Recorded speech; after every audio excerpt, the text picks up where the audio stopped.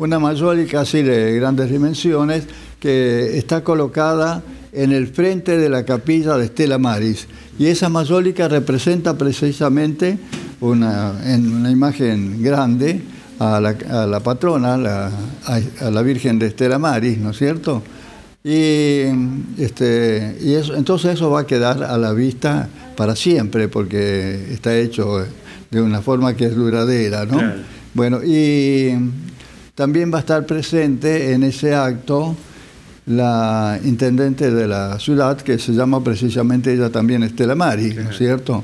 Y entonces queremos hacerlo conocer eh, a toda la población y el que quiera estar presente lo vamos a recibir con mucho gusto esta tarde a las 18 horas. Después de este acto de bendecir esta imagen, ¿va a haber alguna misa, padre? No, no, una misa no es, es una celebración, es una celebración, ¿eh? Bien. Y, pero eh, ¿nos puede contar algo de esta, de esta, es una obra de arte, ¿no? está hecho por un artista. Sí, sí.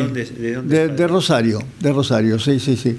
Este, es un artista que lo van haciendo, este, primero lo, lo pintan este, en un papel, ¿no es cierto?, grande, y, pero todo cuadriculado, ¿no? De modo que con las medidas este, de, los mosaicos, ¿no es cierto?, pero en chiquito.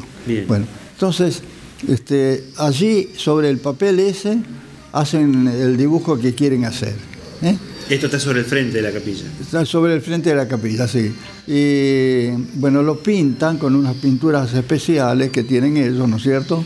Y después este, a, los, a los mosaicos y después los ponen en un horno.